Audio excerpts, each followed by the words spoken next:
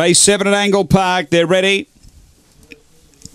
Away, Worm Burner, one of the last to get going. There's speed early from Banker Bale and out wide Rhinestone. Jetta's going to cross and lead. Rhinestone Jetta gets away to the back, out by four or five. Worm Burner quickly around the outside to second, though.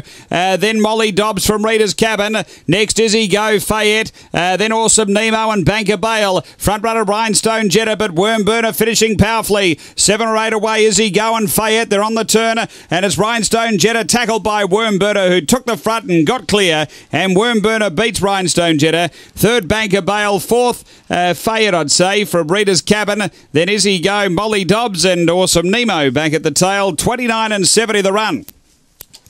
After race number seven, and uh, number eight, the winner. It is uh, the favourite, getting a lovely run really around that first bend. It was able to stay up the track, close heading through the pen, and uh, on the turn was able to level up and draw clear. Worm Burner, Cameron Butcher. CNY Butcher, a brindle dog, December 2013, Oaks Road, Little Looper. Number eight first, uh, seven second, Rhinestone Jetta Martin Doyle.